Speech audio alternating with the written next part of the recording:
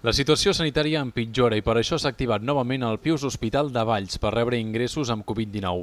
Per tant, els cinc hospitals del Camp de Tarragona tornen a estar habilitats per als casos de coronavirus. És la conseqüència de l'increment progressiu que hi ha hagut de casos positius confirmats en la demarcació de la mateixa manera que passa amb la resta de Catalunya. A diferència, però, de la primera onada, l'objectiu és que els hospitals no s'hagin de dedicar plenament a la pandèmia. El que estem intentant és donar resposta a les necessitats Covid, però amb intenció de que afecti el menys possible a l'activitat no Covid. Ara bé, de moment ja s'han hagut d'ajornar les activitats quirúrgiques menys urgents per tal de disposar de més llits i de més personal.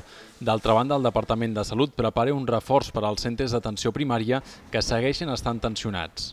Estem en contacte amb els diferents equips d'atenció primària per tal de concretar quins són els recursos que incorporarem dins d'aquest pla d'enfortiment i transformació de l'atenció primària eh, que ha tirat endavant el Servei Català de la Salut. I al món local podria arribar un altre reforç dirigit als ajuntaments per controlar les entrades i sortides als centres escolars. Amb la intenció de que eh, les acumulacions que de vegades eh, es generen a la sortida d'aquests centres no tirin per terra tota la feina que s'està fent dins de les aules. En un altre àmbit, de moment, a les residències, la segona onada està sent menys cruel respecte a la primavera perquè els brots s'estan aïllant més ràpidament.